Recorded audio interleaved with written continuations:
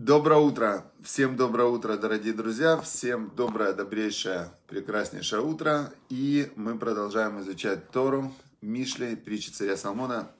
Активно двигаемся, очень активно двигаемся мы к завершению.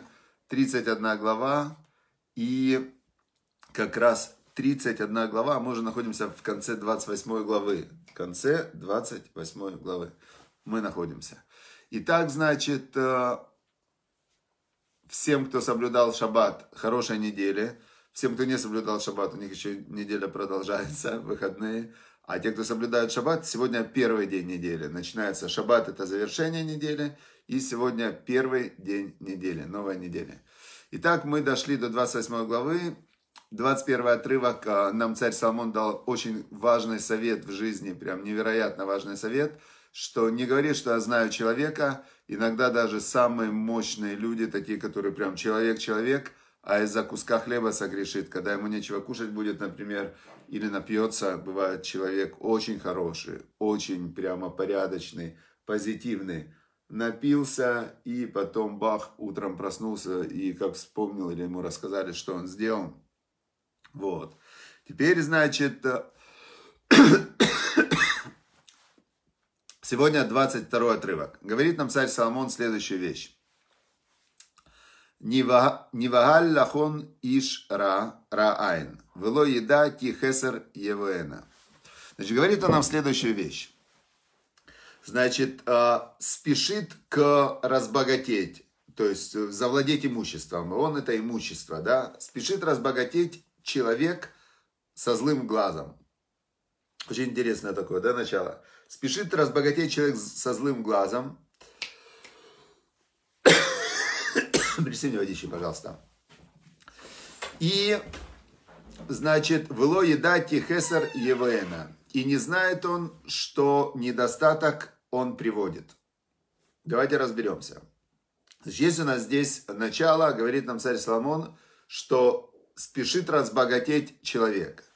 Значит, каждый человек куда-то спешит. Каждый человек куда-то стремится, назовем это так, не спешит, а стремится. Куда стремится человек? Обычно он стремится к тому, что сам для себя назвал важным.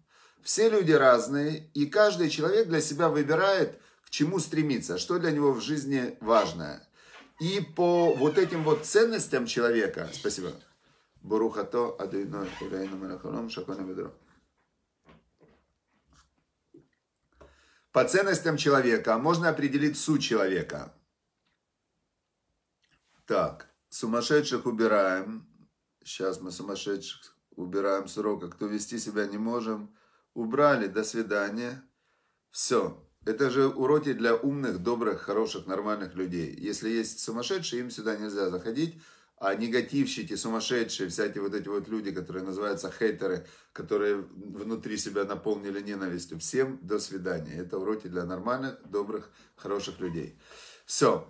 Теперь, значит, э, каждый человек определяется, суть его определяется туда, куда он стремится, да, или то, что он прославляет. Для одного человека важен успех, для другого важно богатство, для третьего важна духовность, для четвертого важен спорт, для пятого важна э, там красота какая-нибудь и так далее.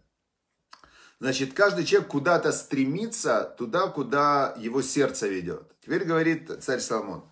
Стремится разбогатеть, спешит разбогатеть. Человек со злым глазом.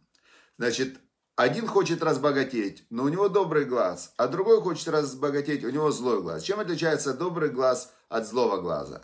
Злой глаз – это пессимист. Злой глаз – это пессимист. Э, человек, который в... Мир же вокруг, он э, с человеком взаимодействует через человека интерпретации. То есть мы все время интерпретируем всю информацию, которую получаем, человек себе объясняет. Теперь человек с добрым глазом, он э, интерпретирует все в сторону добра. Человек со злым глазом, он интерпретирует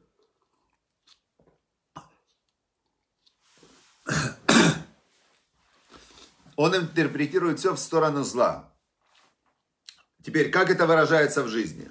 Вот один и второй стремятся разбогатеть. Йов был такой великий праведник Йов, который был самый богатый человек того времени в мире. Он, была у него такая как сгула, как он стал самым богатым. Он все время насыпал людям сверхом, больше давал там им, больше давал семечек им насыпал. Кстати, я кашляю, вчера вечером кушал семечки, поэтому кашляю. Значит, Йов, он когда что-то продавал, он насыпал с горкой. А когда люди ему платили деньги, он говорил, сдачу оставьте себе, не надо, мол, возьмите себе. То есть он хотел, он был с добрым глазом. Он хотел, чтобы все вокруг разбогатели. И когда люди вокруг богатели, они приходили к нему и говорили, ой, Йов, давай с тобой очень приятно иметь дело, потому что ты хочешь, чтобы мы все разбогатели. Теперь, э, значит, кстати, интересно, это очень интересная схема, которая работает и сейчас. Например, в тот же Facebook, да, Facebook, он как устроен, что Цутерберг, он создал систему, в которой он дает возможность каждому абсолютно бесплатно. Видите, мы же с вами ни копейки ему не платим, вообще ни копейки, общаемся, проводим уроки, все. Люди могут видеть своих родственников и с ними бесплатно говорить из разных концов света. То есть он принес людям много пользы. А потом он рекламодателям говорит, смотрите, вы раньше давали рекламу в телевизор, и это было неэффективно, вы не знали, кто ее смотрит, надо людям это, не надо людям это. И он говорит, давайте я вам сейчас дам возможность э, давать рекламу и показывать ее тем, кому она действительно нужна. И он помог людям зарабатывать деньги, и все, кто зарабатывают, ему платят за рекламу, а он таким образом стал там один из самых богатых людей в мире. То есть есть желание разбогатеть, это, это ценность человека. Теперь есть его глаз. Или он злой глаз, или добрый глаз. Если у него добрый глаз, он помогает всем остальным вокруг него тоже разбогатеть. Если у него злой глаз, он тут не доплатил, там не, не доплатил. Здесь он судится, там он судится. И а, он, когда он зарабатывает, но по ходу дела он не доплачивает другим людям, или второй вариант. Второй вариант, э, ведь если вы спросите любого очень богатого человека, то он вам скажет, вот если честно, он скажет, вот повезло. Вот были моменты, когда реально повезло. Да, я много работал, да, я много старался, да, я много думал. Но реально это было некое стечение обстоятельств. Тогда ему можно задать второй вопрос этому богатому человеку. А ты знаешь, что в тех деньгах, которые ты получил, есть 10% доля тех людей, которые не могут зарабатывать. Сироты, больные, э, инвалиды и так далее. Ты знаешь, что Бог тебе дал богатство, но теперь Бог ждет, чтобы ты часть из этого богатства передал, как раз выполнил заповедь делать добро. И тогда половина богатых скажет, да, да, мы знали об этом. Конечно, мы знали об этом, скажет Билл Гейтс. Вот я, например, там 50 миллиардов долларов, и я сейчас эти 50 миллиардов инвестирую в Африку, чтобы люди дольше жили, чтобы люди больше ели там, и так далее. А Стива Джобса спросили, а вы что? А он скажет, а я чего? Ну, сказал бы тогда. Стив Джобс сказал, я, чтобы я кому-то помогал, да я родной дочери помогать не буду. У меня дочь, суд сказал, что она моя дочь, а я говорю, что она не моя дочь, и не помогал.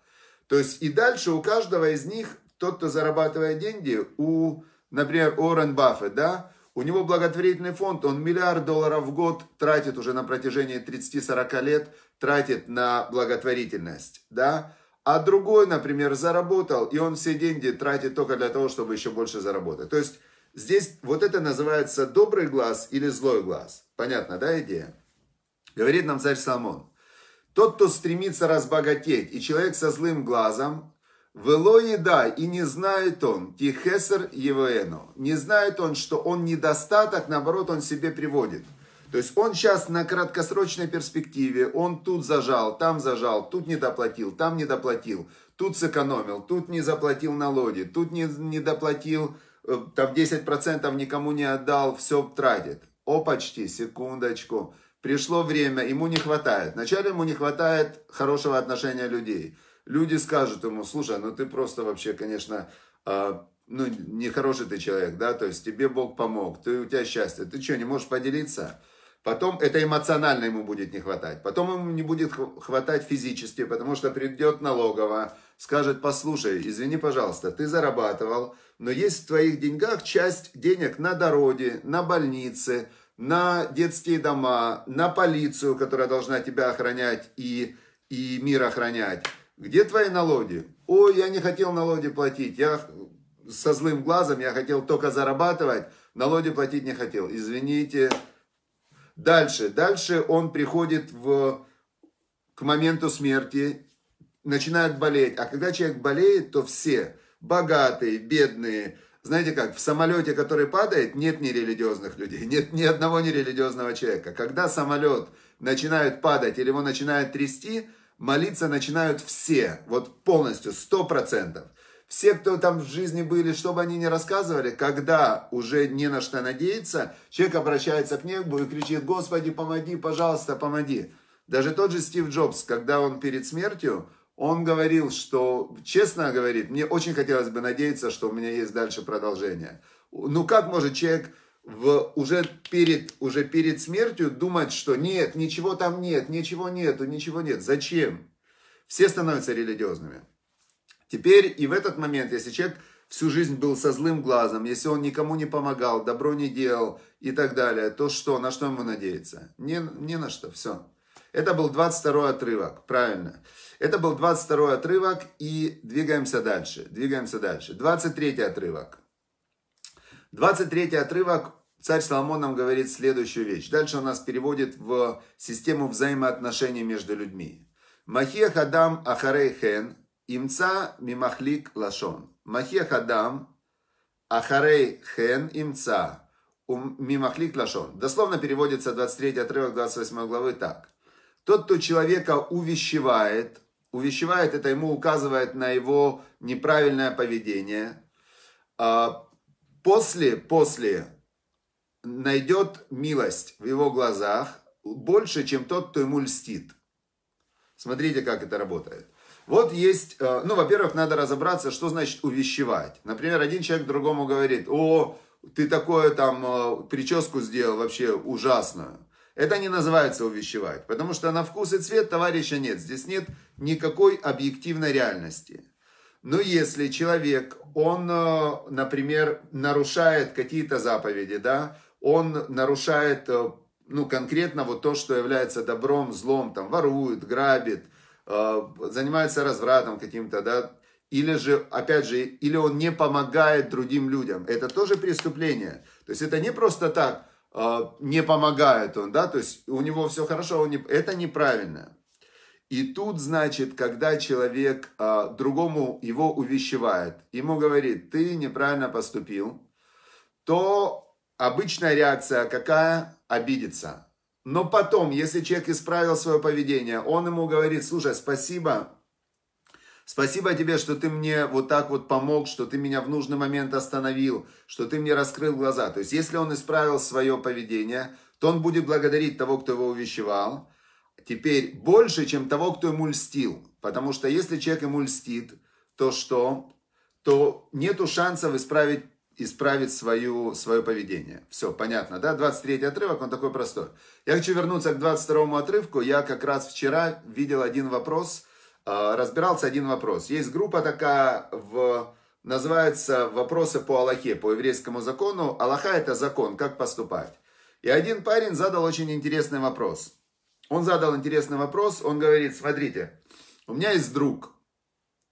Я занял у друга 10 тысяч долларов взаймы. У друга не было, это мой близкий друг. И друг для того, чтобы мне помочь в сложной ситуации – он занял эти деньги у своей родной сестры. Он пошел к родной сестре, дело было в Израиле, и занял у нее 10 тысяч долларов.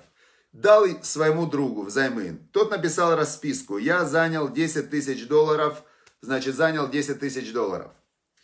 А, проходит время, и тот, кто занял эти 10 тысяч долларов, возвращает другу своему 10 тысяч долларов, говорит, все, вот на те деньги, Э, тот ему отдал расписку, надо давать обязательно расписку, даже если друзья. Э, значит, этот друг возвращает своей родной сестре 10 тысяч долларов, а сестра ему говорит, знаешь что, братишка, говорит, когда ты занимал у меня 10 тысяч долларов, то была цена доллара в Израиле 3,8 доллара, 3,8 шекеля за доллар. И э, я могла эти 10 тысяч долларов продать и получить за них 3, 38 э, тысяч шекелей. А сейчас цена за доллар 3 там 3,4 или 3,5. В общем, я потеряла 2000 шекелей, я потеряла за это время. То есть, если посмотреть в шекелях. Этот брат, он э, сестре говорит, э, ну, слушай, конечно, конечно, я тебя понимаю, ты не должна терять из-за меня, ты мне помогла очень сильно. И он ей возвращает эти 2000 шекелей. Да, инфляция. Он ей возвращает эти 2000 шекелей. Действительно, но ситуация изменилась. И 10 тысяч долларов, если посмотреть, что на них можно было купить в Израиле полгода назад, и сейчас доллар упал. Но она же, смотрите, сестра, она помогла, она в этой ситуации, она реально хотела помочь. Она ему дала 10 тысяч долларов. А, он дал другу, друг вернул.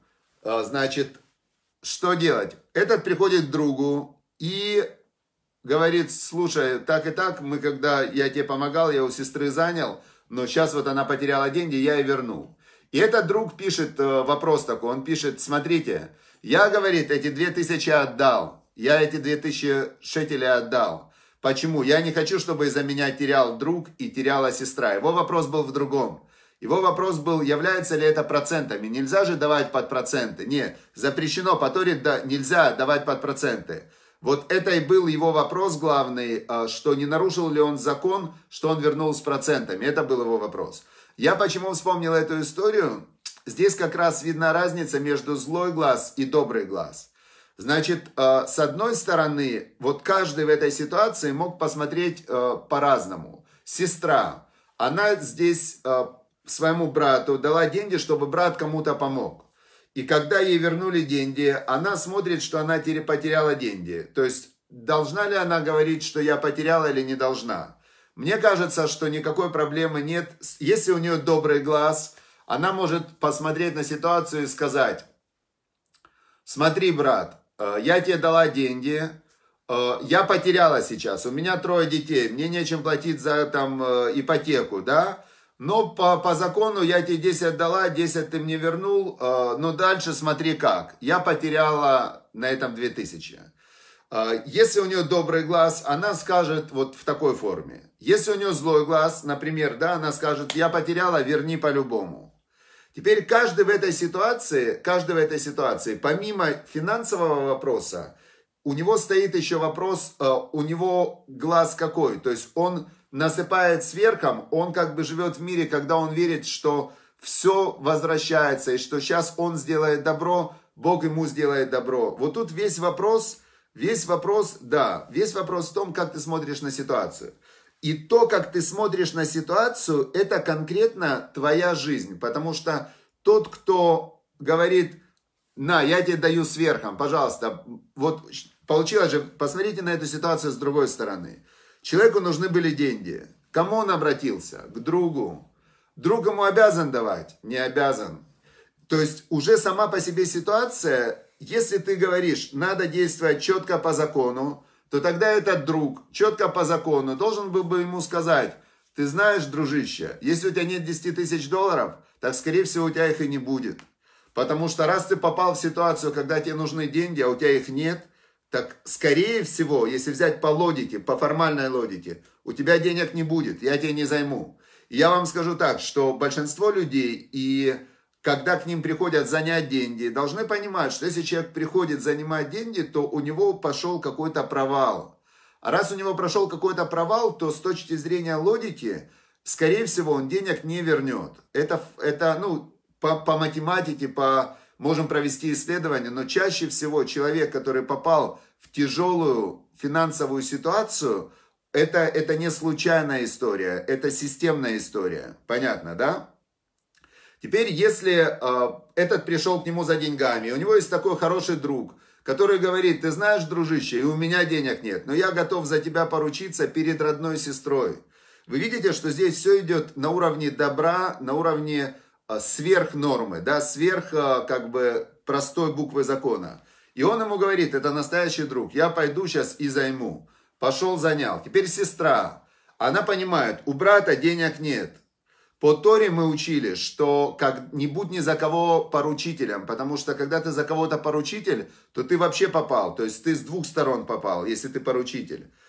Тут приходит мне родной брат и говорит, «Э, слушай, я поручаюсь перед тобой за человека, которого ты вообще не знаешь, у него денег нет, но займи мне деньги. Сестра, может, она пошла и купила, может, она тоже суду взяла и купила эти доллары. В Израиле же, в Израиле же шекели. Она купила, допустим, доллары за 38 тысяч шекелей. И потом она ему дала эти доллары, потому что друг просил доллары. Потом, слава Богу, эта ситуация, она очень редкая, когда все друг другу вернули деньги. Это очень редкая ситуация. И когда пошел вот этот вот возврат денег, потом оказывается ситуация, в которой есть убыток. Этот убыток возник по ну, каким-то совершенно форс-мажорным, непредвиденным ситуациям, в которой, от которой никто не застрахован. Теперь в этой ситуации каждый мог сказать другому, ты знаешь, меня твои проблемы не волнуют. Это был бы какой глаз? Это был бы злой глаз. И тогда вся эта цепочка бы распалась, и в следующий раз никто бы никому не помог. Но в этой ситуации каждый поступил по с точки зрения выше закона, добра. А, этот брат, он говорит, конечно, ты не должна терять, ты мне помогла, почему ты должна терять? И дал деньги. Тот друг, который, который тоже мог сказать, слушай, я не отдам, но что бы у него после этого осталось? У него бы после этого не стало бы друга, однозначно, потому что друг, потеряв 2000 долларов, 2000 шекелей, он бы сказал, слушай, вообще вот этот друг у меня, да? То есть все поступили здесь э, сверх закона в сторону добра. И сестра здесь, но она не должна была терять, она тоже не должна была терять. Понятно, да, идея?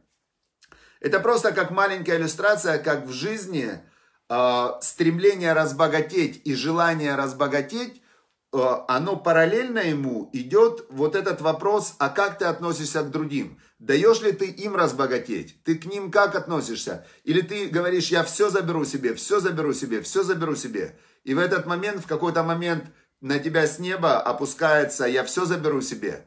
И понятно, да?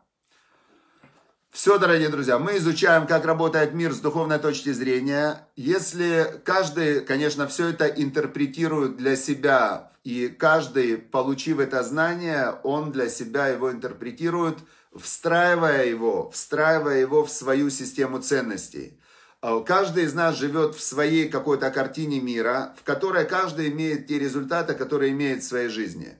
Царь Соломон, мудрейший из людей, в книге притчи, это часть письменной Торы, это часть христианской Библии, это э, для мусульман царь Соломон тоже мудрейший из людей, и его очень в мусульманской традиции уважают. Нам дает, э, дает нам взгляд, как работает мир с точки зрения духовной сферы. Кто слышит, слышит, кто не слышит, не слышит. Все, всем удачи, успехов, хорошего дня, наполненного добром и божественным светом. Делайте добро, добро возвращается. Все, удачи, успехов, всем пока.